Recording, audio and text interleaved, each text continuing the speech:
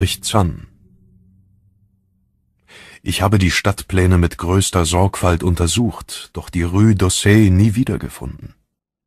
Und es waren nicht nur moderne Pläne, die ich zu Rate zog, denn mir ist bewusst, dass Straßennamen sich oft ändern. Ganz im Gegenteil. Ich bin tief in die Geschichte der Stadt eingetaucht und habe persönlich jede Gegend gleich welchen Namens erforscht, in der möglicherweise die Straße zu finden ist, die ich als Rue d'Ossée kenne. Doch ungeachtet all meiner Bemühungen bleibt die demütigende Tatsache bestehen, dass ich weder das Haus noch die Straße oder auch nur die Umgebung zu finden vermag, wo ich in den letzten Monaten meines Hungerlebens als Student der metaphysischen Wissenschaften die Musik des Erich Zann hörte. Dass meine Erinnerung gelitten hat, verwundert mich nicht, denn im Laufe meines Aufenthalts in der Rue d'Ossée wurde meine Gesundheit körperlich wie geistig schwer erschüttert, und ich entsinne mich nicht, jemals einen meiner wenigen Bekannten dorthin mitgenommen zu haben. Doch dass ich diesen Ort nicht wiederzufinden vermag, ist so eigenartig wie verwirrend, denn er lag nur eine halbe Stunde Fußweg von der Universität entfernt und unterschied sich durch einige Eigentümlichkeiten so sehr von anderen Orten, dass kaum jemand, der dort gewesen ist, ihn vergessen könnte. Allerdings bin ich nie einem Menschen begegnet, der die Rue d'Ossée gekannt hätte. Die Rue d'Ossée lag auf der anderen Seite eines finsteren, von baufälligen Lagerhäusern gesäumten Flusses, den eine massige Brücke aus dunklem Stein überspannte. Es war stets dämmerig an diesem Fluss, als wehre der Rauch der umliegenden Fabriken die Sonne fortwährend ab. Überdies stiegen vom Fluss üble Gerüche auf, die ich nirgends sonst gerochen habe und die mir eines Tages vielleicht dabei helfen, ihn zu finden, da ich sie sofort wiedererkennen würde. Jenseits der Brücke lagen enge, gepflasterte Straßen mit Eisengeländern. Dann kam ein erst allmählicher und dann unglaublich steiler Anstieg, ehe man die Rue d'Ossée erreichte. Ich habe noch keine so enge und steile Straße wie diese gesehen. Sie glich fast einer Klippe, war für alle Fahrzeuge gesperrt, bestand an mehreren Stellen aus Treppenfluchten und am oberen Ende schloss eine hohe, efeu bewachsene Mauer sie ab. Das Pflaster war unregelmäßig, bestand mal aus Steinplatten, mal aus Kopfsteinen und manchmal nur aus nackter Erde, auf der eine zähe, grünlich-graue Vegetation wuchs. Die Häuser waren hoch, von Spitzdächern gekrönt und unglaublich alt. Sie neigten sich auf verrückte Weise nach hinten, nach vorn und zur Seite. Zuweilen schienen zwei gegenüberliegende Häuser, die beide nach vorn die Einwohner dieser Straße hinterließen bei mir einen eigenartigen Eindruck. Zuerst schrieb ich das der Tatsache zu, dass sie alle sehr still und zurückhaltend waren. Doch später kam ich zu dem Schluss, dass es an ihrem hohen Alter liegen müsse. Ich weiß nicht, wie ich dazu kam, in einer solchen Straße zu wohnen, aber ich war nicht ich selbst gewesen, als ich dorthin zog. Ich hatte in vielen armen Gegenden gelebt und war stets wegen Geldmangels an die Luft gesetzt worden, bis ich schließlich auf jenes wackelige Haus in der Rue d'Ossée stieß, das von dem volltrunkenen Blandot unterhalten wurde. Es war vom oberen Ende aus gesehen das dritte Haus der Straße und mit Abstand das größte von allen. Mein Zimmer befand sich in der fünften Etage und war in diesem Stockwerk der einzig bewohnte Raum, denn das Haus stand so gut wie leer. In der Nacht, in der ich einzog, hörte ich eine sonderbare Musik aus der Mansarde über mir, und am nächsten Tag erkundigte ich mich deswegen bei dem alten Blandot. Er erzählte mir, die Musik stamme von einem alten deutschen Violinspieler, einem merkwürdigen, stummen Mann, der mit dem Namen Erich Zann unterschrieb und des Abends in einem billigen Theaterorchester geigte. Er fügte hinzu, dass Zanns Wunsch, nachts nach seiner Rückkehr aus dem Theater zu spielen, der Grund dafür sei, dass er dieses hochgelegene und abgeschiedene Mansardenzimmer für sich gewählt habe, dessen Giebelfenster die einzige Stelle in der Straße sei, von der aus man über die Mauer hinweg auf den Abhang und das Panorama dahinter blicken könne. So hörte ich dann Zann jede Nacht, und obwohl er mich damit wach hielt, war ich von der Unheimlichkeit seiner Musik fasziniert. Ich wusste von dieser Kunst nur wenig und war mir dennoch sicher, dass keine seiner Harmonien mit irgendeiner Art Musik verwandt war, die ich zuvor gehört hatte. Ich gelangte zu dem Schluss, er sei ein Komponist von höchst eigenem Genie. Je länger ich ihm lauschte, desto größer wurde meine Faszination, bis ich mich nach einer Woche entschloss, die Bekanntschaft des alten Mannes zu machen. Eines Nachts, als er gerade von seiner Arbeit heimkehrte, hielt ich Zan im Korridor auf und sagte ihm, ich würde ihn gern kennenlernen und ihm Gesellschaft leisten, wenn er spielte. Er war ein kleiner, magerer, vornübergebeugter Mann in schäbiger Kleidung. Er hatte blaue Augen, ein groteskes Satyrgesicht und einen fast kahlen Kopf. Zunächst schienen ihn meine Worte sowohl zu erzürnen als auch zu ängstigen. Aber meine offensichtliche Freundlichkeit brachte das Eis schließlich zum Schmelzen, und er bedeutete mir verdrießlich, ihm die dunkle, knarrende und wackelige Dachtreppe hinauf zu folgen. Sein Zimmer, eins von nur zweien in der hochgiebeligen Dachstube, befand sich an der Westseite und lag somit der hohen Mauer gegenüber, die das obere Ende der Straße bildete. Der Raum war sehr groß und erschien umso größer durch seine außergewöhnliche Kahlheit und Verwahrlosung. An Mobiliar gab es nur ein schmales eisernes Bett, einen schäbigen Waschständer, einen kleinen Tisch ein großes Bücherregal, einen eisernen Notenständer und drei altmodische Stühle. Notenblätter stapelten sich ungeordnet auf dem Boden. Die Wände bestanden aus nackten Brettern, die wahrscheinlich nie einen Verputz gesehen hatten, während das Übermaß an Staub und Spinnweben den Raum eher verlassen als bewohnt erscheinen ließ. Offensichtlich lag Erich Zands Welt der Schönheit in einem entlegenen Kosmos der Fantasie. Der stumme Mann wies mir einen Platz an, schloss die Tür, legte den großen hölzernen Riegel vor und entzündete eine Kerze. Nun entnahm er seine Violine der mottenzerfressenen Schutzhülle und ließ sich damit auf dem unbequemsten der drei Stühle nieder. Er machte keine Verwendung von dem Notenständer, fragte mich auch nicht nach meinen Wünschen, sondern spielte aus dem Gedächtnis, wobei er mich über eine Stunde lang mit Weisen bezauberte, die ich nie zuvor vernommen hatte. Melodien, die er selbst ersonnen haben musste. Ihr genaues Wesen zu beschreiben, ist unmöglich für jemanden, der in der Musik unbewandert ist.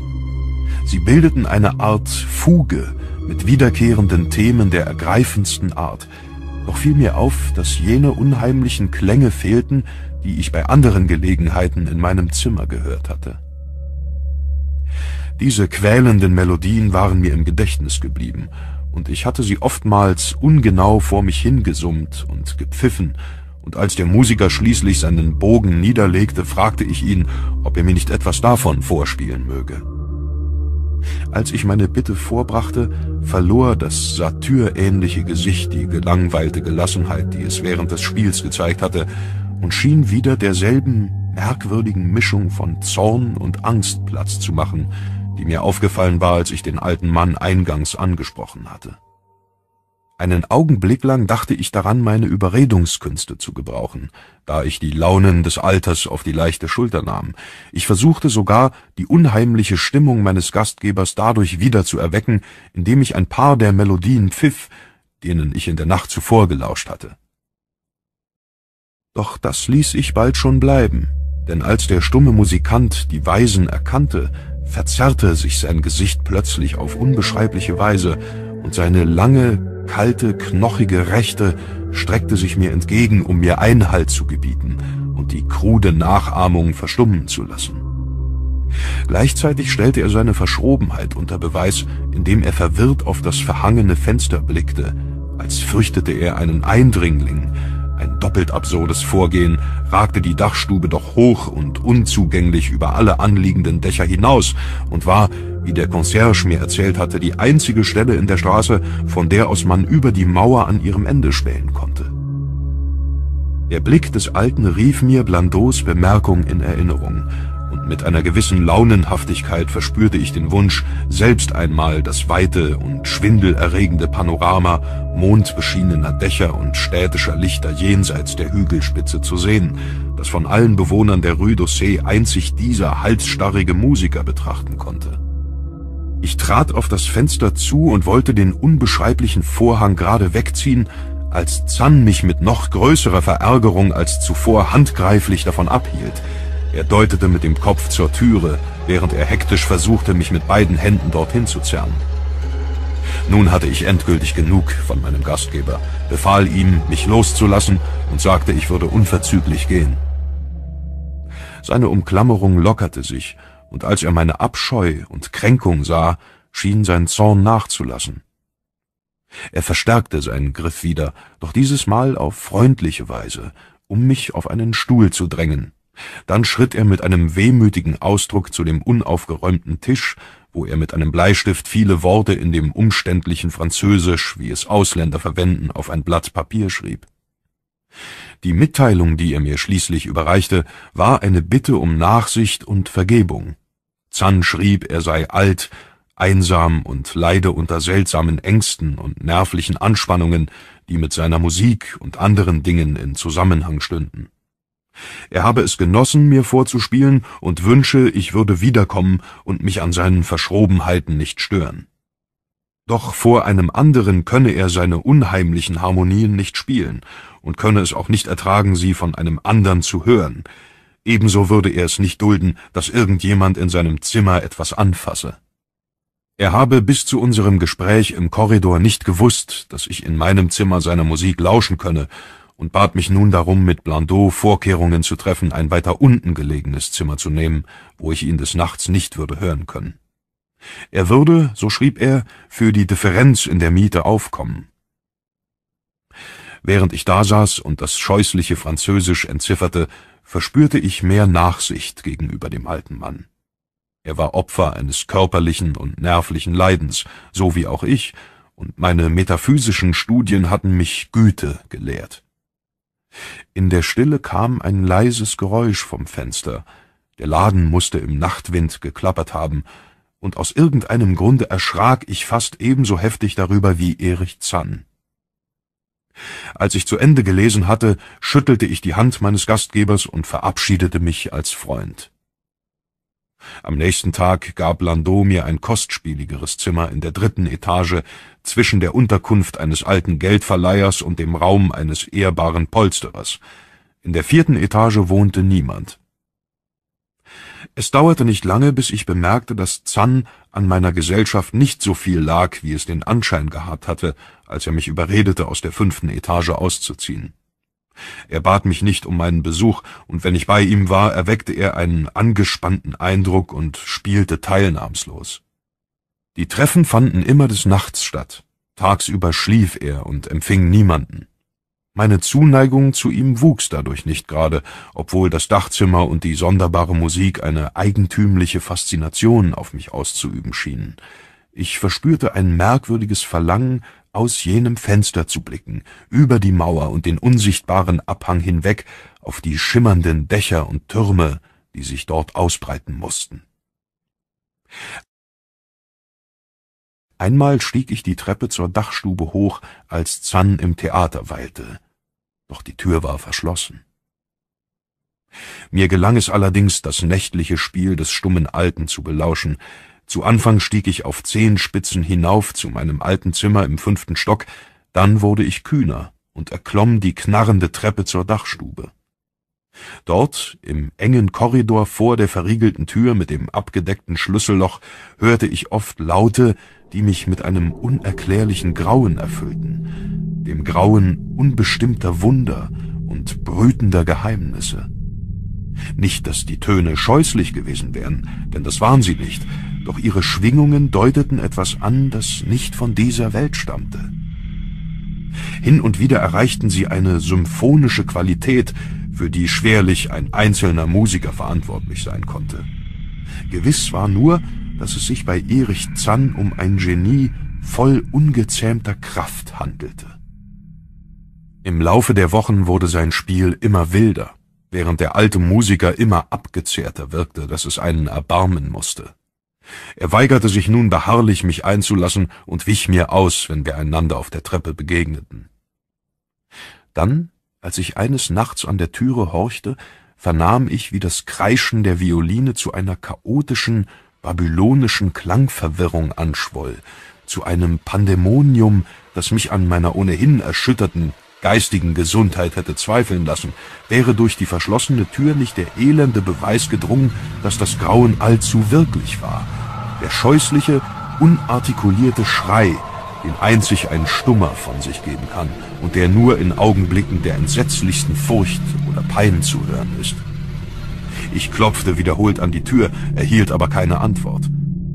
Danach wartete ich im finsteren Korridor, zitternd vor Kälte und Angst, bis ich den schwachen Versuch des armen Musikers hörte, sich an einem Stuhl vom Boden hochzuziehen. Ich glaubte, er habe nach einem Ohnmachtsanfall gerade das Bewusstsein wiedererlangt und klopfte erneut, wobei ich meinen Namen rief, um Zan zu beruhigen. Ich hörte, wie Zan zum Fenster schlurfte, den Laden schloss und den Vorhang zuzog, dann stolperte er zur Tür, die er zögerlich entriegelte, um mich einzulassen. Dieses Mal schien seine Freude, mich zu sehen, aufrichtig zu sein, denn sein verzerrtes Gesicht strahlte vor Erleichterung, während er sich an meinen Mantel klammerte, wie ein Kind sich am Rock seiner Mutter festhält. Der jämmerlich zitternde Alte drängte mich, auf einem Stuhl Platz zu nehmen und ließ sich auf einen anderen fallen, neben dem seine Violine und der Bogen unachtsam auf dem Boden lagen. Eine Zeit lang saß er untätig da, nickte merkwürdig, erweckte aber den paradoxen Anschein, angestrengt und angsterfüllt auf etwas zu lauschen. Dann schien er befriedigt zu sein und ging zum Tisch, wo er eine kurze Notiz schrieb, die er mir gab, und wieder an den Tisch zurückkehrte, wo er mit einer raschen und unablässigen Niederschrift begann. Die Notiz ersuchte mich im Namen der Barmherzigkeit oder um meiner Neugier willen hier zu warten, während er auf Deutsch einen vollständigen Bericht über all die Wunder und Schrecken verfasste, die ihn heimsuchten. Ich wartete, und der Bleistift des Stummen flog übers Papier. Es war vielleicht eine Stunde später, während ich noch immer wartete und die fieberhaft beschrifteten Blätter des alten Musikers sich immer höher anhäuften, als ich sah, dass Zan wie vom Schlag gerührt zusammenzuckte. Unzweifelhaft sah er zum Fenster hin und lauschte zitternd. Dann bildete ich mir ein, selbst einen Klang zu hören. Doch war es kein entsetzliches Geräusch, sondern vielmehr eine außerordentlich tief tönende, unendlich ferne Melodie, die aus einem der Nachbarhäuser oder von jenseits der hohen Mauer zu kommen schien. Der Effekt auf Zan war grauenhaft, denn er ließ den Bleistift fallen, erhob sich ruckartig, ergriff seine Violine und ging daran, die Stille der Nacht mit der wilden Musik zu zerreißen, die ich bislang nur gehört hatte, wenn ich an der verriegelten Türe lauschte. Es wäre sinnlos, Erich Zans Spiel in jener schrecklichen Nacht beschreiben zu wollen. Es war entsetzlicher als alles, was ich je zufällig gehört hatte, weil ich nun den Ausdruck auf seinem Gesicht sehen und erkennen konnte, dass diesmal nackte Furcht sein Beweggrund war. Er versuchte, irgendeinen Lärm zu erzeugen, um etwas abzuwehren oder zu übertönen. Doch was, das vermochte ich mir nicht auszumalen, wenngleich ich spürte, dass es etwas Grauenhaftes sein musste. Sein Spiel wurde unwirklich, rasend und hysterisch, bewahrte sich indes bis zum Schluss die Eigenschaft eines erhabenen Genies, das, wie ich wusste, diesem seltsamen alten Mann zu eigen war.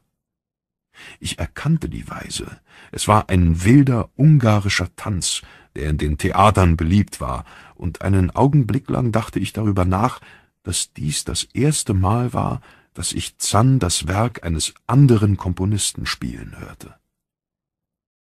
Immer lauter, und immer wilder stieg das Kreischen und Wimmern der rasenden Violine an.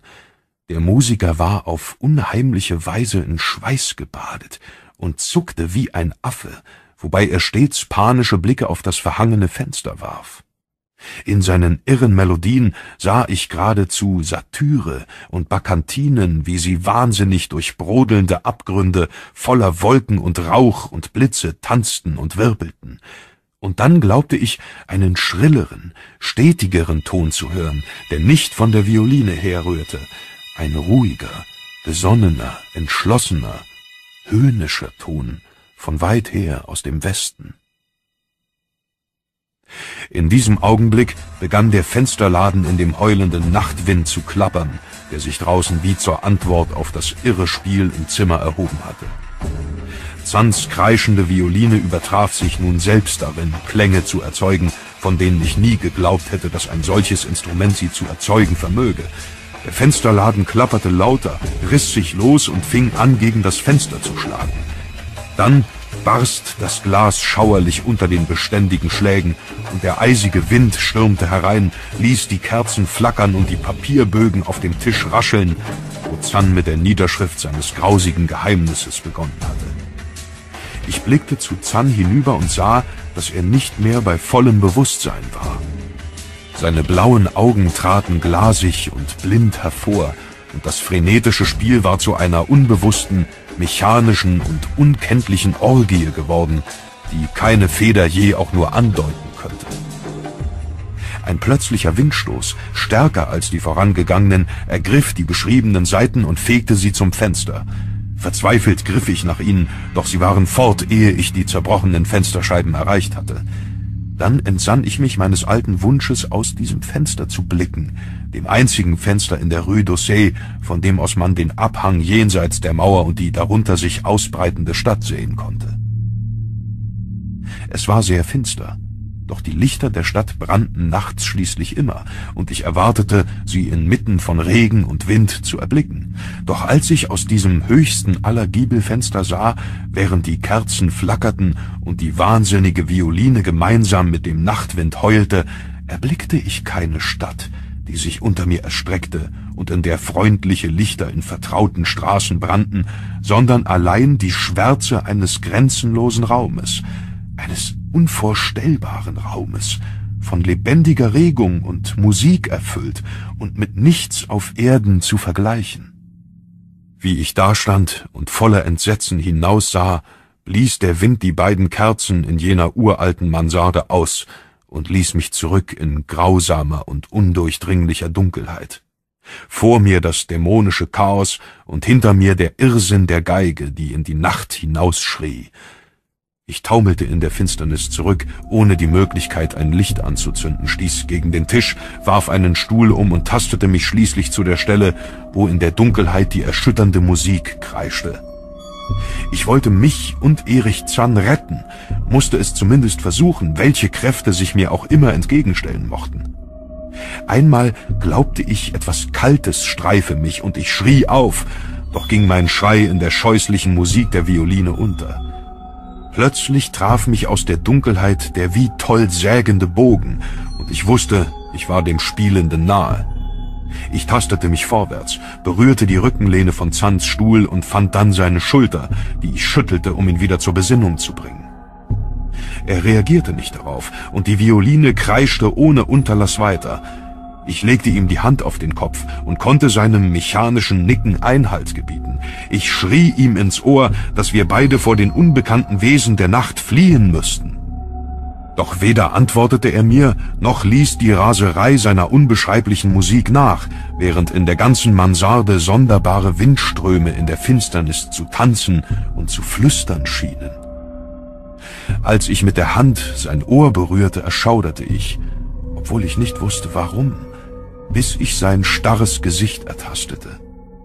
Das eiskalte, reglose Gesicht, dessen glasige Augen sinnlos ins Leere glotzten.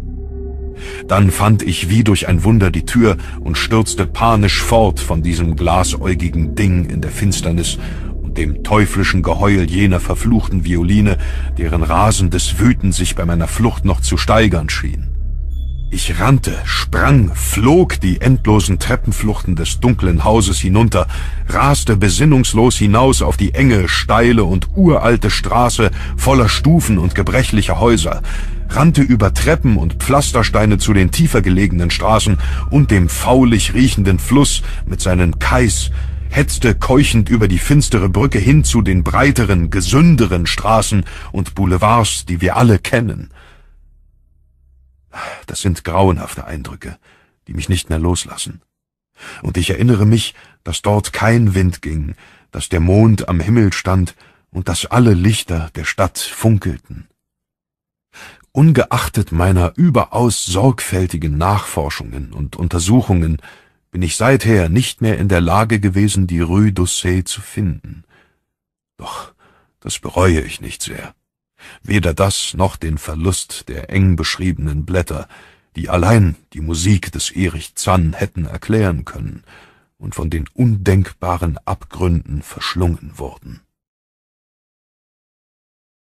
Wunderbare Musik eine eigentümliche Faszination auf mich auszuüben schien.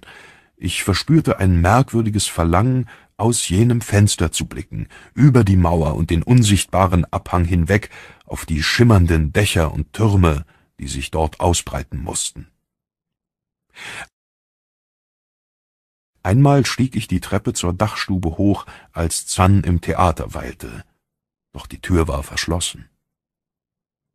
Mir gelang es allerdings, das nächtliche Spiel des stummen Alten zu belauschen. Zu Anfang stieg ich auf Zehenspitzen hinauf zu meinem alten Zimmer im fünften Stock, dann wurde ich kühner und erklomm die knarrende Treppe zur Dachstube. Dort, im engen Korridor vor der verriegelten Tür mit dem abgedeckten Schlüsselloch, hörte ich oft Laute, die mich mit einem unerklärlichen Grauen erfüllten, dem Grauen unbestimmter Wunder und brütender Geheimnisse. Nicht, dass die Töne scheußlich gewesen wären, denn das waren sie nicht, doch ihre Schwingungen deuteten etwas an, das nicht von dieser Welt stammte. Hin und wieder erreichten sie eine symphonische Qualität, für die schwerlich ein einzelner Musiker verantwortlich sein konnte. Gewiss war nur, dass es sich bei Erich Zann um ein Genie voll ungezähmter Kraft handelte. Im Laufe der Wochen wurde sein Spiel immer wilder, während der alte Musiker immer abgezehrter wirkte, dass es einen erbarmen musste. Er weigerte sich nun beharrlich, mich einzulassen und wich mir aus, wenn wir einander auf der Treppe begegneten. Dann, als ich eines Nachts an der Türe horchte, vernahm ich, wie das Kreischen der Violine zu einer chaotischen, babylonischen Klangverwirrung anschwoll, zu einem Pandemonium, das mich an meiner ohnehin erschütterten geistigen Gesundheit hätte zweifeln lassen, wäre durch die verschlossene Tür nicht der elende Beweis gedrungen, dass das Grauen allzu wirklich war. Der scheußliche, unartikulierte Schrei, den einzig ein Stummer von sich geben kann und der nur in Augenblicken der entsetzlichsten Furcht oder Pein zu hören ist. Ich klopfte wiederholt an die Tür, erhielt aber keine Antwort. Danach wartete ich im finsteren Korridor, zitternd vor Kälte und Angst, bis ich den schwachen Versuch des armen Musikers hörte, sich an einem Stuhl vom Boden hochzuziehen. Ich glaubte, er habe nach einem Ohnmachtsanfall gerade das Bewusstsein wiedererlangt und klopfte erneut, wobei ich meinen Namen rief, um Zan zu beruhigen. Ich hörte, wie Zan zum Fenster schlurfte, den Laden schloss und den Vorhang zuzog, dann stolperte er zur Tür, die er zögerlich entriegelte, um mich einzulassen. Dieses Mal schien seine Freude, mich zu sehen, aufrichtig zu sein, denn sein verzerrtes Gesicht strahlte vor Erleichterung, wehren oder zu übertönen. Doch was, das vermochte ich mir nicht auszumalen, wenngleich ich spürte, dass es etwas Grauenhaftes sein musste. Sein Spiel wurde unwirklich, rasend und hysterisch, bewahrte sich indes bis zum Schluss die Eigenschaft eines erhabenen Genies, das, wie ich wusste, diesem seltsamen alten Mann zu eigen war. Ich erkannte die Weise. Es war ein wilder ungarischer Tanz, der in den Theatern beliebt war, und einen Augenblick lang dachte ich darüber nach, dass dies das erste Mal war, dass ich Zann das Werk eines anderen Komponisten spielen hörte. Immer lauter und immer wilder stieg das Kreischen und Wimmern der rasenden Violine an. Der Musiker war auf unheimliche Weise in Schweiß gebadet und zuckte wie ein Affe, wobei er stets panische Blicke auf das verhangene Fenster warf. In seinen irren Melodien sah ich geradezu Satyre und Bakantinen, wie sie wahnsinnig durch brodelnde Abgründe voller Wolken und Rauch und Blitze tanzten und wirbelten. Und dann glaubte ich, einen schrilleren, stetigeren Ton zu hören, der nicht von der Violine herrührte, ein ruhiger, besonnener, entschlossener, höhnischer Ton von weit her aus dem Westen. In diesem Augenblick begann der Fensterladen in dem heulenden Nachtwind zu klappern, der sich draußen wie zur Antwort auf das irre Spiel im Zimmer erhoben hatte. Zands kreischende Violine übertraf sich nun selbst darin, Klänge zu erzeugen, von denen ich nie geglaubt hätte, dass ein solches Instrument sie zu erzeugen vermöge. Der Fensterladen klapperte lauter, riss sich los und fing an, gegen das Fenster zu schlagen. Dann barst das Glas schauerlich unter den beständigen Schlägen, und der eisige Wind stürmte herein, ließ die Kerzen flackern und die Papierbögen auf dem Tisch rascheln, wo Zan mit der Niederschrift seines grausigen Geheimnisses begonnen hatte. Ich blickte zu Zan hinüber und sah, dass er nicht mehr bei vollem Bewusstsein war. Seine blauen Augen traten glasig und blind hervor, und das frenetische Spiel war zu einer unbewussten, mechanischen und unkenntlichen Orgie geworden, die keine Feder je auch nur andeuten könnte. Ein plötzlicher Windstoß, stärker als die vorangegangenen, ergriff die beschriebenen Seiten und fegte sie zum Fenster. Verzweifelt griff ich nach ihnen, doch sie waren fort, ehe ich die zerbrochenen Fensterscheiben erreicht hatte. Dann entsann ich mich meines alten Wunsches, aus diesem Fenster zu blicken, dem einzigen Fenster in der Rue d'Ossé, von dem aus man den Abhang jenseits der Mauer und die darunter sich ausbreitende Stadt sehen konnte. Es war sehr finster, doch die Lichter der Stadt brannten nachts, nickte merkwürdig, erweckte aber den paradoxen Anschein, angestrengt und angsterfüllt auf etwas zu lauschen. Dann schien er befriedigt zu sein und ging zum Tisch, wo er eine kurze Notiz schrieb, die er mir gab, und wieder an den Tisch zurückkehrte, wo er mit einer raschen und unablässigen Niederschrift begann. Die Notiz ersuchte mich im Namen der Barmherzigkeit oder um meiner Neugier willen hier zu warten, während er auf Deutsch einen vollständigen Bericht über all die Wunder und Schrecken verfasste, die ihn heimsuchten. Ich wartete, und der Bleistift des Stummen flog übers Papier. Es war vielleicht eine Stunde später, während ich noch immer wartete und die fieberhaft beschrifteten Blätter des alten Musikers sich immer höher anhäuften, als ich sah, dass Zan wie vom Schlag gerührt zusammenzuckte. Unzweifelhaft sah er zum Fenster hin, und lauschte zitternd. Dann bildete ich mir ein, selbst einen Klang zu hören. Doch war es kein entsetzliches Geräusch, sondern vielmehr eine außerordentlich tief tönende, unendlich ferne Melodie, die aus einem der Nachbarhäuser oder von jenseits der hohen Mauer zu kommen schien. Der Effekt auf Zan war grauenhaft, denn er ließ den Bleistift fallen, erhob sich ruckartig, ergriff seine Violine und ging daran, die Stille der Nacht mit der wilden Musik zu zerreißen, die ich bislang nur gehört hatte, wenn ich an der verriegelten Türe lauschte. Es wäre sinnlos, Erich Zands Spiel in jener schrecklichen Nacht beschreiben zu wollen. Es war entsetzlicher als alles, was ich je zufällig gehört hatte, weil ich nun den Ausdruck auf seinem Gesicht sehen und erkennen konnte, dass diesmal nackte Furcht sein Beweggrund war. Er versuchte, irgendeinen Lärm zu erzeugen, um etwas abzuwehren oder zu übertönen. Doch was, das vermochte ich mir nicht auszumalen, wenngleich ich spürte, dass es etwas Grauenhaftes sein musste. Sein Spiel wurde unwirklich, rasend und hysterisch, bewahrte sich indes bis zum Schluss die Eigenschaft eines erhabenen Genies, das, wie ich wusste, diesem seltsamen alten Mann zu eigen war. Ich erkannte die Weise, es war ein wilder ungarischer Tanz, der in den Theatern beliebt war, und einen Augenblick lang dachte ich darüber nach, dass dies das erste Mal war, dass ich Zan das Werk eines anderen Komponisten spielen hörte. Immer lauter, und immer wilder stieg das Kreischen und Wimmern der rasenden Violine an.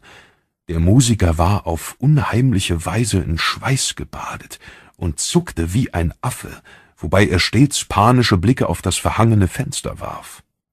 In seinen irren Mellozu kam, in einer solchen Straße zu wohnen, aber ich war nicht ich selbst gewesen, als ich dorthin zog.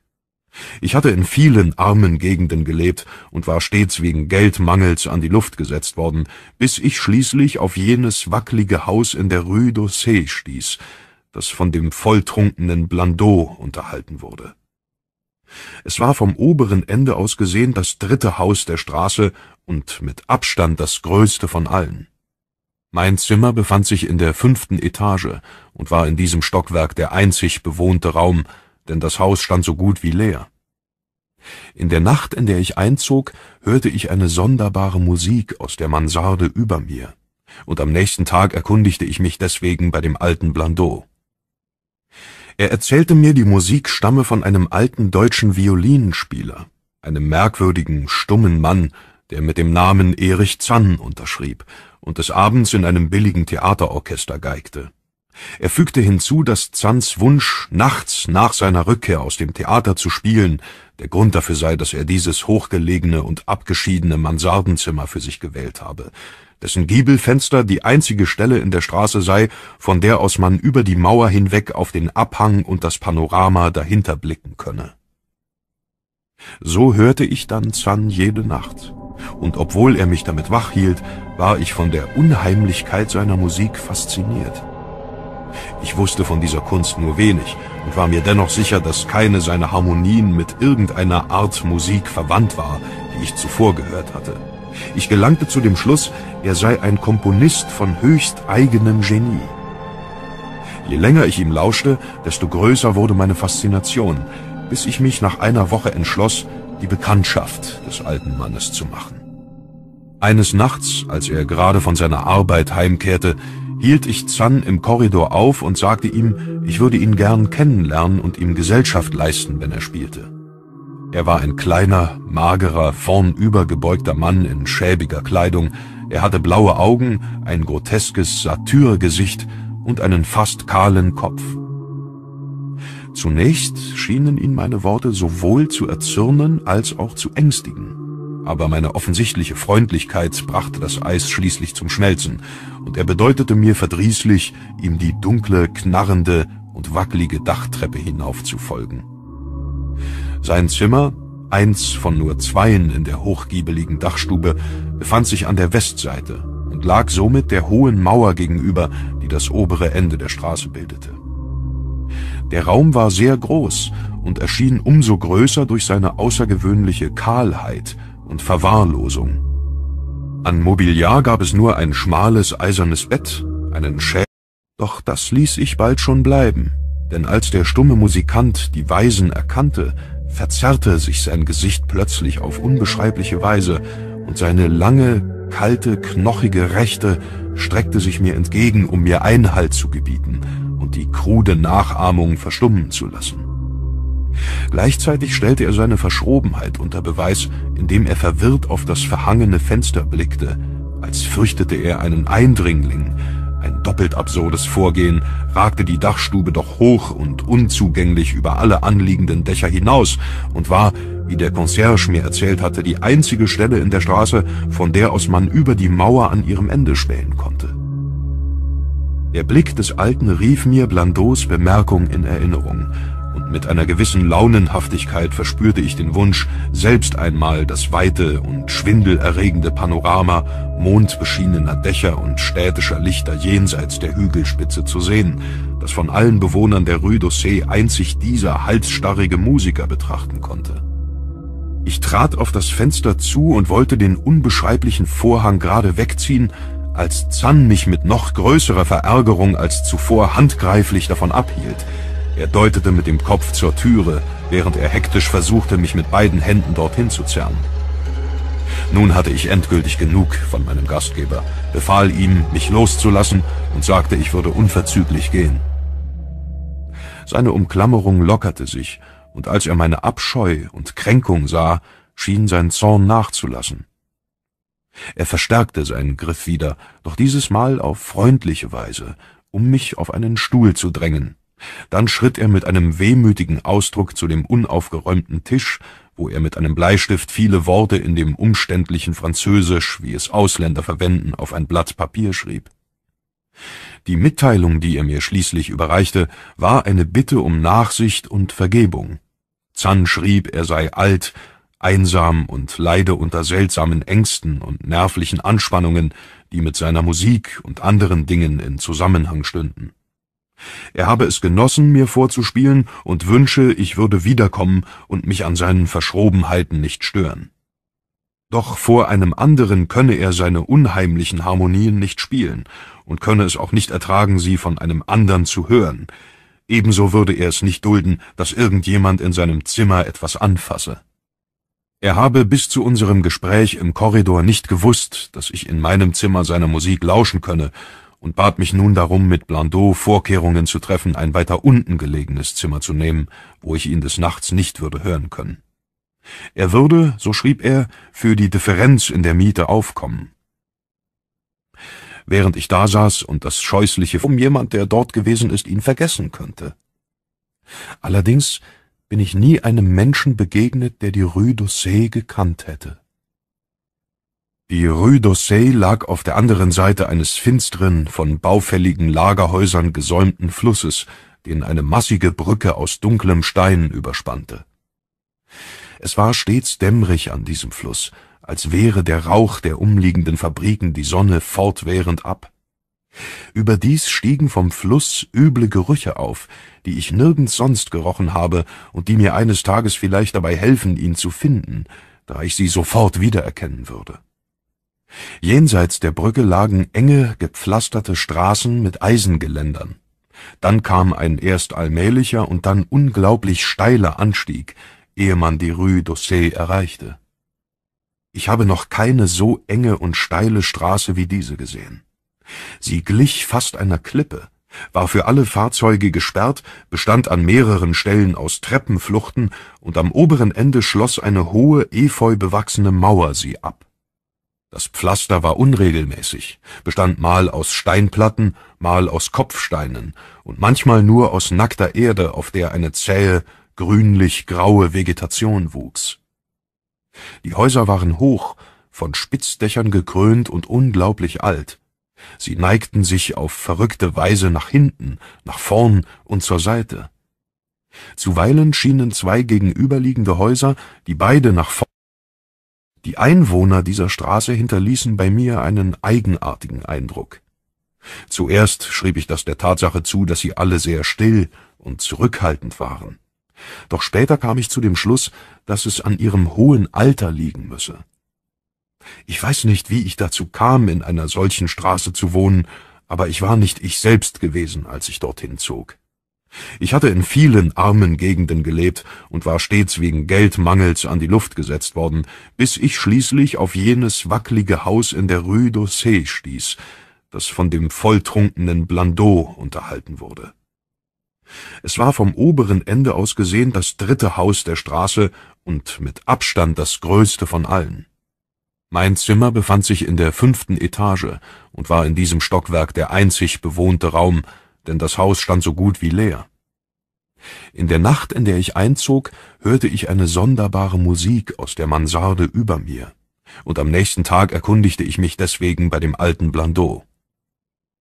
Er erzählte mir, die Musik stamme von einem alten deutschen Violinenspieler, einem merkwürdigen, stummen Mann, der mit dem Namen Erich Zann unterschrieb und des Abends in einem billigen Theaterorchester geigte. Er fügte hinzu, dass Zanns Wunsch nachts ihrem hohen Alter liegen müsse. Ich weiß nicht, wie ich dazu kam, in einer solchen Straße zu wohnen, aber ich war nicht ich selbst gewesen, als ich dorthin zog. Ich hatte in vielen armen Gegenden gelebt und war stets wegen Geldmangels an die Luft gesetzt worden, bis ich schließlich auf jenes wackelige Haus in der Rue d'Ossé stieß, das von dem volltrunkenen Blandot unterhalten wurde. Es war vom oberen Ende aus gesehen das dritte Haus der Straße und mit Abstand das größte von allen. Mein Zimmer befand sich in der fünften Etage und war in diesem Stockwerk der einzig bewohnte Raum, denn das Haus stand so gut wie leer. In der Nacht, in der ich einzog, hörte ich eine sonderbare Musik aus der Mansarde über mir, und am nächsten Tag erkundigte ich mich deswegen bei dem alten Blandot. Er erzählte mir, die Musik stamme von einem alten deutschen Violinenspieler, einem merkwürdigen, stummen Mann, der mit dem Namen Erich Zann unterschrieb und des Abends in einem billigen Theaterorchester geigte. Er fügte hinzu, dass Zanns Wunsch, nachts nach seiner Rückkehr aus dem Theater zu spielen, der Grund dafür sei, dass er dieses hochgelegene und abgeschiedene Mansardenzimmer für sich gewählt habe, dessen Giebelfenster die einzige Stelle in der Straße sei, von der aus man über die Mauer hinweg auf den Abhang und das Panorama dahinter blicken könne. So hörte ich dann Zan jede Nacht, und obwohl er mich damit wach hielt, war ich von der Unheimlichkeit seiner Musik fasziniert. Ich wusste von dieser Kunst nur wenig und war mir dennoch sicher, dass keine seiner Harmonien mit irgendeiner Art Musik verwandt war, die ich zuvor gehört hatte. Ich gelangte zu dem Schluss, er sei ein Komponist von höchst eigenem Genie. Je länger ich ihm lauschte, desto größer wurde meine Faszination, bis ich mich nach einer Woche entschloss, die Bekanntschaft des alten Mannes zu machen. Eines Nachts, als er gerade von seiner Arbeit heimkehrte, hielt ich Zan im Korridor auf und sagte ihm, ich würde ihn gern kennenlernen und ihm Gesellschaft leisten, wenn er spielte. Er war ein kleiner, magerer, vornübergebeugter Mann in schäbiger Kleidung. Er hatte blaue Augen, ein groteskes Satyrgesicht und einen fast kahlen Kopf.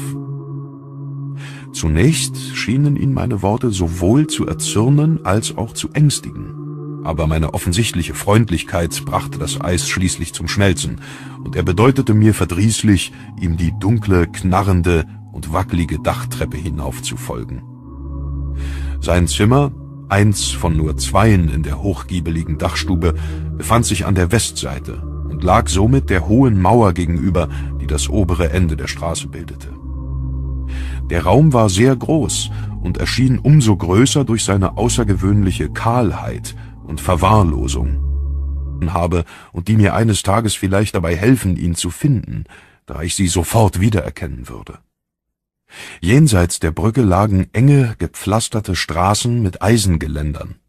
Dann kam ein erst allmählicher und dann unglaublich steiler Anstieg, ehe man die Rue d'Ossé erreichte. Ich habe noch keine so enge und steile Straße wie diese gesehen. Sie glich fast einer Klippe, war für alle Fahrzeuge gesperrt, bestand an mehreren Stellen aus Treppenfluchten und am oberen Ende schloss eine hohe, efeu bewachsene Mauer sie ab. Das Pflaster war unregelmäßig, bestand mal aus Steinplatten, mal aus Kopfsteinen und manchmal nur aus nackter Erde, auf der eine zähe, grünlich-graue Vegetation wuchs. Die Häuser waren hoch, von Spitzdächern gekrönt und unglaublich alt. Sie neigten sich auf verrückte Weise nach hinten, nach vorn und zur Seite. Zuweilen schienen zwei gegenüberliegende Häuser, die beide nach vorn. Die Einwohner dieser Straße hinterließen bei mir einen eigenartigen Eindruck. Zuerst schrieb ich das der Tatsache zu, dass sie alle sehr still und zurückhaltend waren. Doch später kam ich zu dem Schluss, dass es an ihrem hohen Alter liegen müsse. Ich weiß nicht, wie ich dazu kam, in einer solchen Straße zu wohnen, aber ich war nicht ich selbst gewesen, als ich dorthin zog. Ich hatte in vielen armen Gegenden gelebt und war stets wegen Geldmangels an die Luft gesetzt worden, bis ich schließlich auf jenes wackelige Haus in der Rue d'Ossé stieß, das von dem volltrunkenen Blandot unterhalten wurde. Es war vom oberen Ende aus gesehen das dritte Haus der Straße und mit Abstand das größte von allen. Mein Zimmer befand sich in der fünften Etage und war in diesem Stockwerk der einzig bewohnte Raum, denn das Haus stand so gut wie leer. In der Nacht, in der ich einzog, hörte ich eine sonderbare Musik aus der Mansarde über mir, und am nächsten Tag erkundigte ich mich deswegen bei dem alten Blandot. Er erzählte mir, die Musik stamme von einem alten deutschen Violinspieler, einem merkwürdigen, stummen Mann, der mit dem Namen Erich Zann unterschrieb und des Abends in einem billigen Theaterorchester geigte. Er fügte hinzu, dass Zands Wunsch, nachts nach seiner Rückkehr aus dem Theater zu spielen, der Grund dafür sei, dass er dieses hochgelegene und abgeschiedene Mansardenzimmer für sich gewählt habe, dessen Giebelfenster die einzige Stelle in der Straße sei, von der aus man über die Mauer hinweg auf den Abhang und das Panorama dahinter blicken könne. So hörte ich dann Zan jede Nacht und obwohl er mich damit wach hielt, war ich von der Unheimlichkeit seiner Musik fasziniert. Ich wusste von dieser Kunst nur wenig und war mir dennoch sicher, dass keine seiner Harmonien mit irgendeiner Art Musik verstürzte panisch fort von diesem glasäugigen Ding in der Finsternis und dem teuflischen Geheul jener verfluchten Violine, deren rasendes Wüten sich bei meiner Flucht noch zu steigern schien.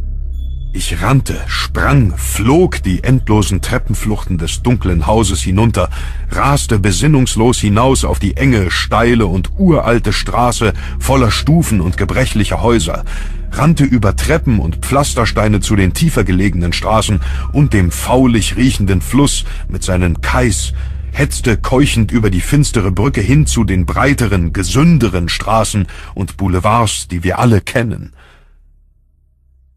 Das sind grauenhafte Eindrücke, die mich nicht mehr loslassen. Und ich erinnere mich, dass dort kein Wind ging, dass der Mond am Himmel stand und dass alle Lichter der Stadt funkelten. Ungeachtet meiner überaus sorgfältigen Nachforschungen und Untersuchungen bin ich seither nicht mehr in der Lage gewesen, die Rue d'Ossé zu finden. Doch das bereue ich nicht sehr. Weder das noch den Verlust der eng beschriebenen Blätter, die allein die Musik des Erich Zann hätten erklären können und von den undenkbaren Abgründen verschlungen wurden. Wunderbare Musik eine eigentümliche Faszination auf mich auszuüben schien. Ich verspürte ein merkwürdiges Verlangen, aus jenem Fenster zu blicken, über die Mauer und den unsichtbaren Abhang hinweg auf die schimmernden Dächer und Türme, die sich dort ausbreiten mussten. Einmal stieg ich die Treppe zur Dachstube hoch, als Zann im Theater weilte, doch die Tür war verschlossen. Mir gelang es allerdings, das nächtliche Spiel des stummen Alten zu belauschen. Zu Anfang stieg ich auf Zehenspitzen hinauf zu meinem alten Zimmer im fünften Stock, dann wurde ich kühner und erklomm die knarrende Treppe zur Dachstube. Dort, im engen Korridor vor der verriegelten Tür mit dem abgedeckten Schlüsselloch, hörte ich oft Laute, die mich mit einem unerklärlichen Grauen erfüllten, dem Grauen unbestimmter Wunder und brütender Geheimnisse. Nicht, dass die Töne scheußlich gewesen wären, denn das waren sie nicht, doch ihre Schwingungen deuteten etwas an, das nicht von dieser Welt stammte. Hin und wieder erreichten sie eine symphonische Qualität, für die schwerlich ein einzelner Musiker verantwortlich sein konnte. Gewiss war nur, dass es sich bei Erich Zann um ein Genie voll ungezähmter Kraft handelte. Im Laufe der Wochen wurde sein Spiel immer wilder, während der alte Musiker immer abgezehrter wirkte, dass es einen erbarmen musste. Er weigerte sich nun beharrlich, mich einzulassen und wich mir aus, wenn Melodien, die er selbst ersonnen haben musste. Ihr genaues Wesen zu beschreiben, ist unmöglich für jemanden, der in der Musik unbewandert ist.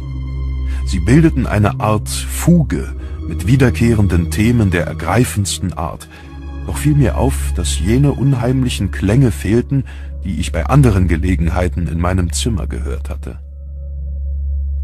Diese quälenden Melodien waren mir im Gedächtnis geblieben, und ich hatte sie oftmals ungenau vor mich hingesummt und gepfiffen, und als der Musiker schließlich seinen Bogen niederlegte, fragte ich ihn, ob er mir nicht etwas davon vorspielen möge. Als ich meine Bitte vorbrachte, verlor das satyrähnliche Gesicht die gelangweilte Gelassenheit, die es während des Spiels gezeigt hatte, und schien wieder derselben merkwürdigen Mischung von Zorn und Angst Platz zu machen, die mir aufgefallen war, als ich den alten Mann eingangs angesprochen hatte. Einen Augenblick lang dachte ich daran, meine Überredungskünste zu gebrauchen, da ich die Launen des Alters auf die leichte Schulter nahm.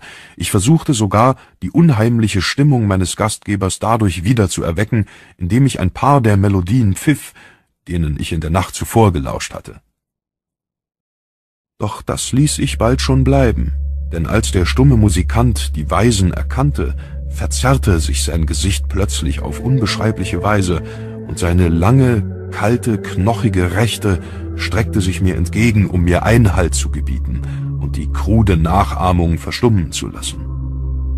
Gleichzeitig stellte er seine Verschrobenheit unter Beweis, indem er verwirrt auf das verhangene Fenster blickte, als fürchtete er einen Eindringling, ein doppelt absurdes Vorgehen, ragte die Dachstube doch hoch und unzugänglich über alle anliegenden Dächer hinaus und war, wie der Concierge mir erzählt hatte, die einzige Stelle in der Straße, von der aus man über die Mauer an ihrem Ende spähen konnte.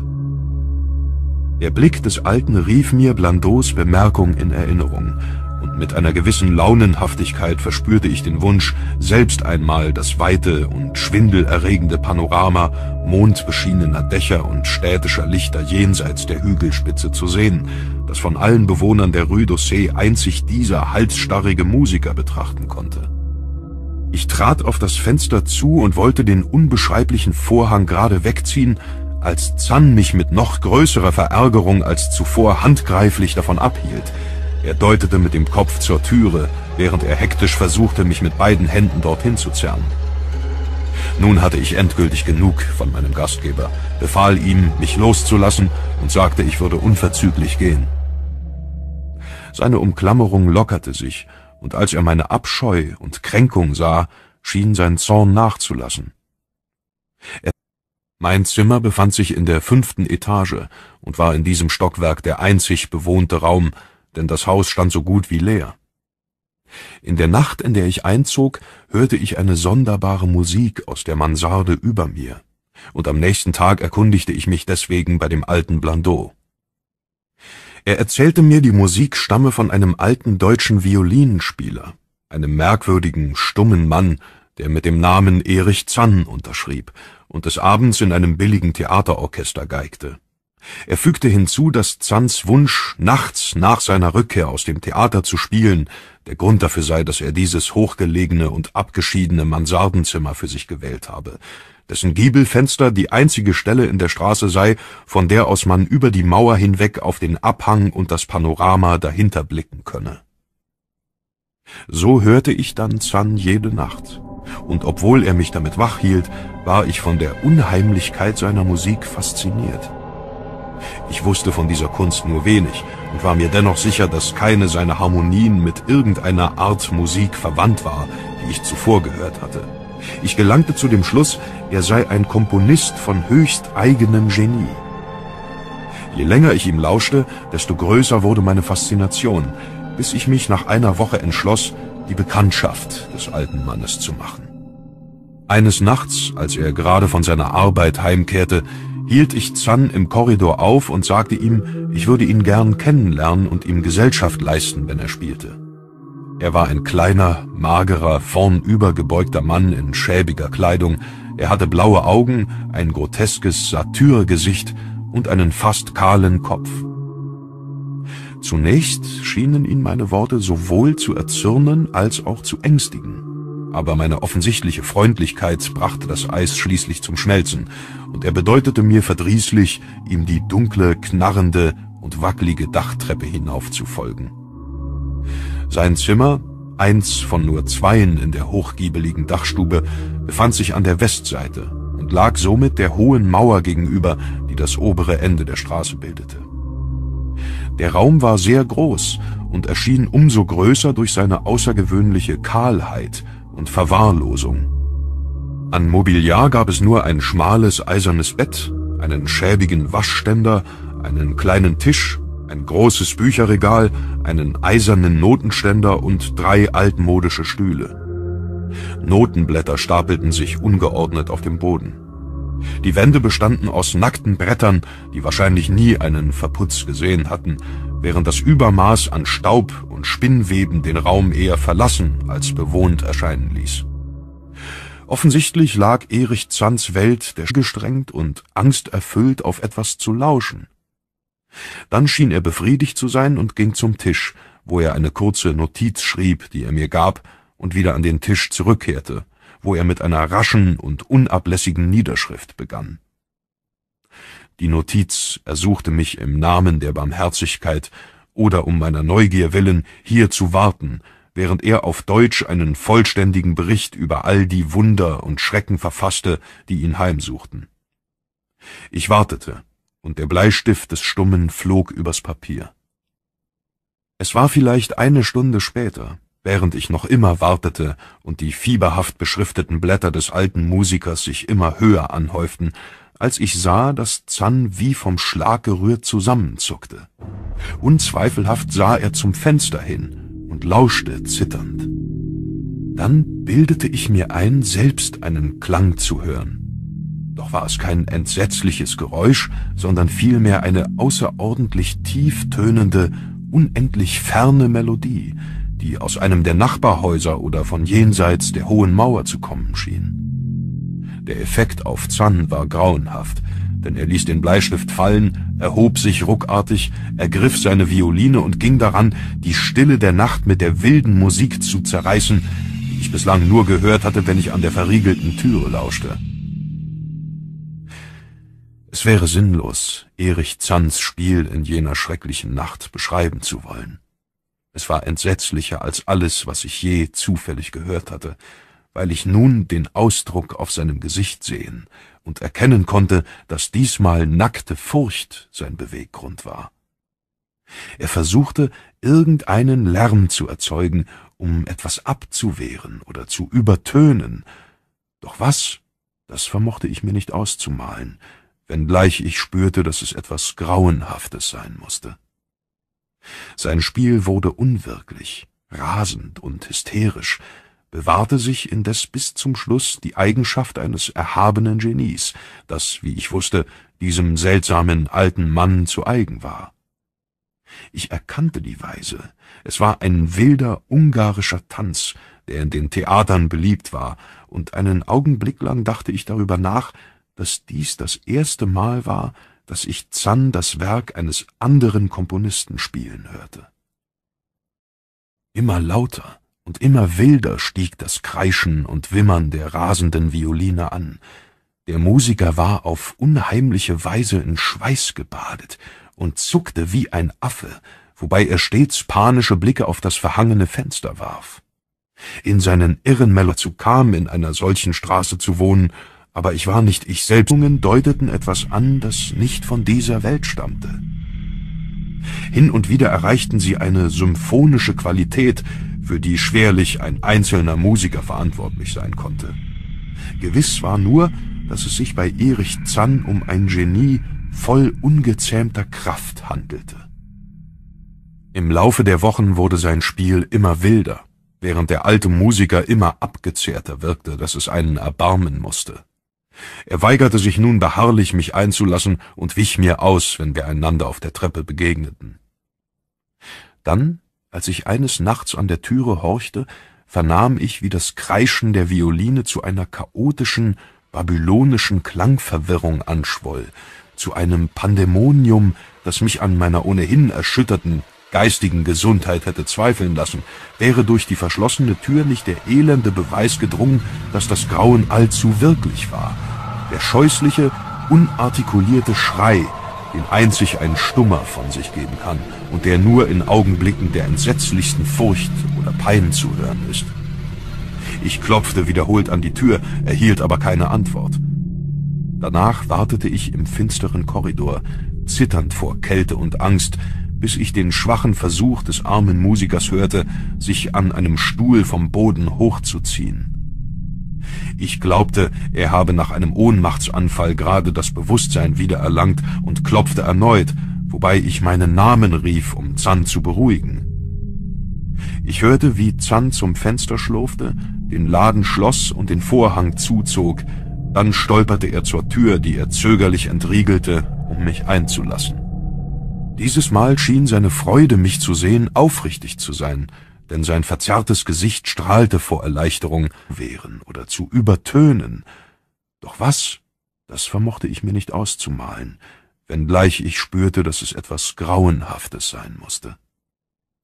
Sein Spiel wurde unwirklich, rasend und hysterisch, bewahrte sich indes bis zum Schluss die Eigenschaft eines erhabenen Genies, das, wie ich wusste, diesem seltsamen alten Mann zu eigen war. Ich erkannte die Weise. Es war ein wilder ungarischer Tanz, der in den Theatern beliebt war, und einen Augenblick lang dachte ich darüber nach, dass dies das erste Mal war, dass ich Zann das Werk eines anderen Komponisten spielen hörte. Immer lauter und immer wilder stieg das Kreischen und Wimmern der rasenden Violine an. Der Musiker war auf unheimliche Weise in Schweiß gebadet und zuckte wie ein Affe, wobei er stets panische Blicke auf das verhangene Fenster warf. In seinen irren Melodien sah ich geradezu Satyre in die Geschichte der Stadt eingetaucht und habe persönlich jede Gegend gleich welchen Namens erforscht, in der möglicherweise die Straße zu finden ist, die ich als Rue d'Ossé kenne.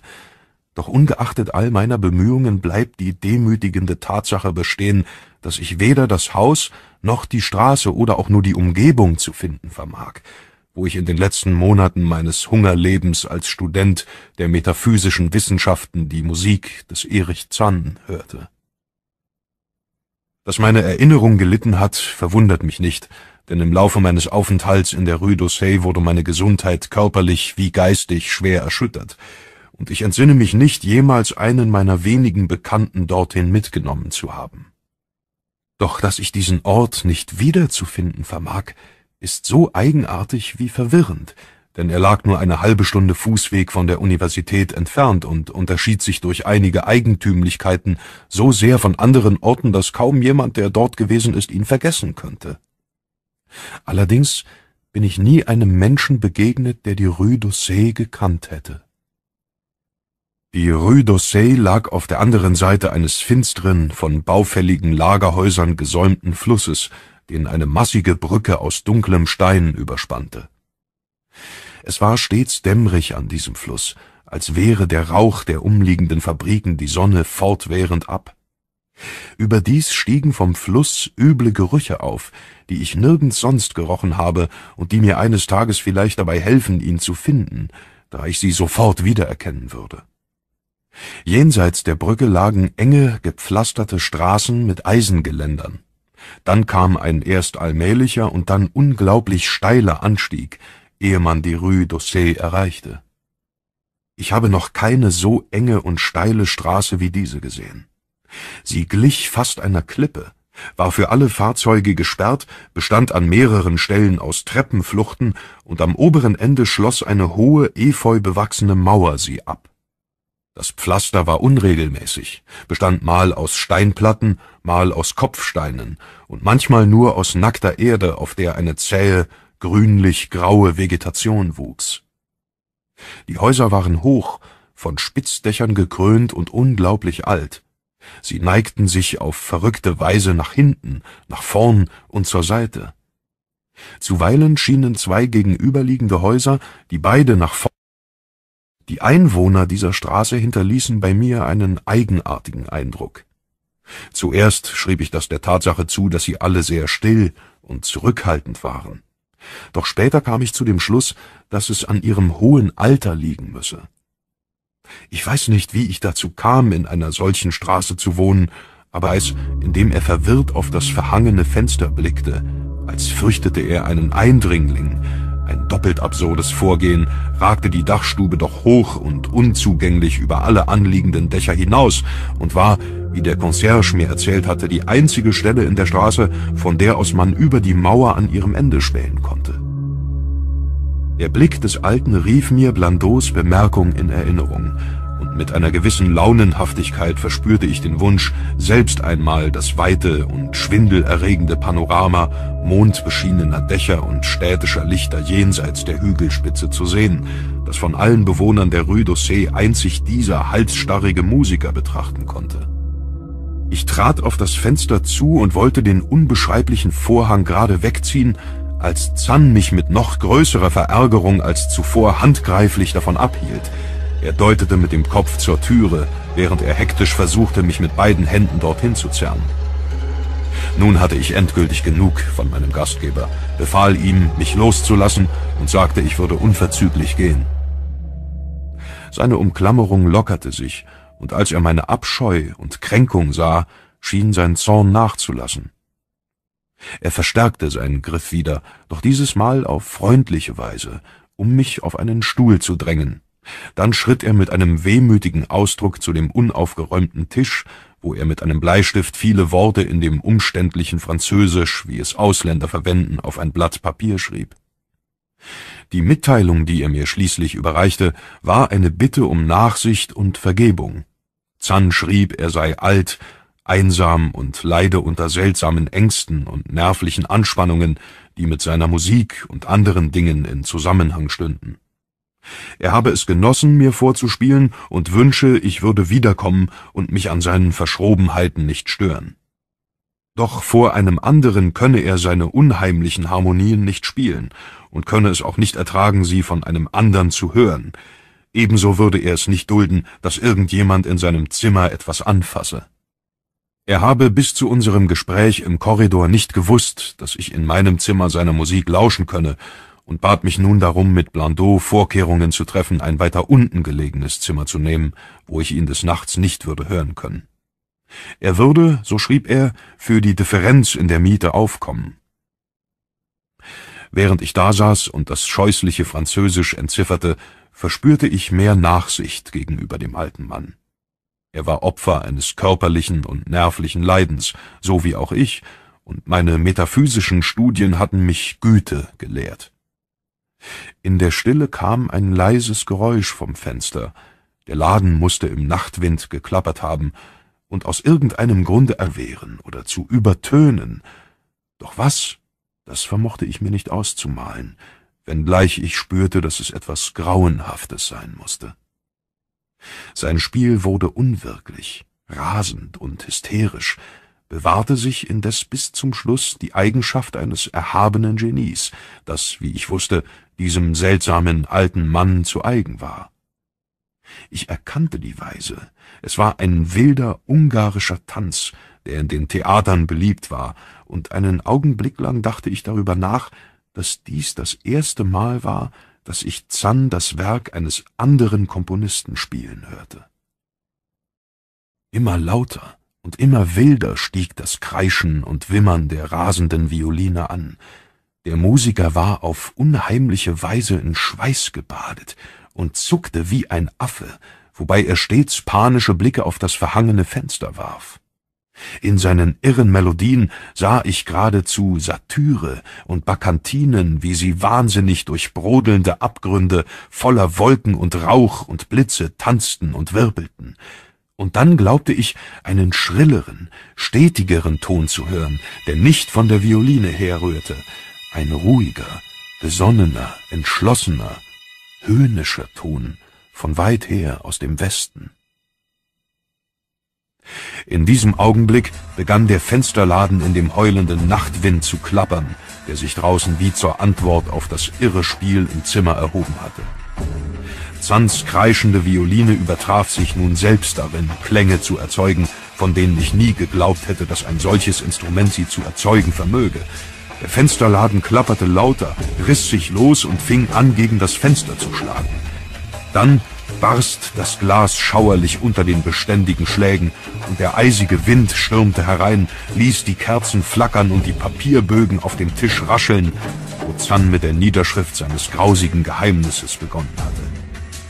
Ich blickte zu Zan hinüber und sah, dass er nicht mehr bei vollem Bewusstsein war. Seine blauen Augen traten glasig und blind hervor, und das frenetische Spiel war zu einer unbewussten, mechanischen und unkenntlichen Orgie geworden, die keine Feder je auch nur andeuten könnte. Ein plötzlicher Windstoß, stärker als die vorangegangenen, ergriff die beschriebenen Seiten und fegte sie zum Fenster. Verzweifelt griff ich nach ihnen, doch sie waren fort, ehe ich die zerbrochenen Fensterscheiben erreicht hatte. Dann entsann ich mich meines alten Wunsches, aus diesem Fenster zu blicken, dem einzigen Fenster in der Rue d'Aussay, von dem aus man den Abhang jenseits der Mauer und die darunter sich ausbreitende Stadt sehen konnte. Es war sehr finster, doch die Lichter der Stadt brannten nachts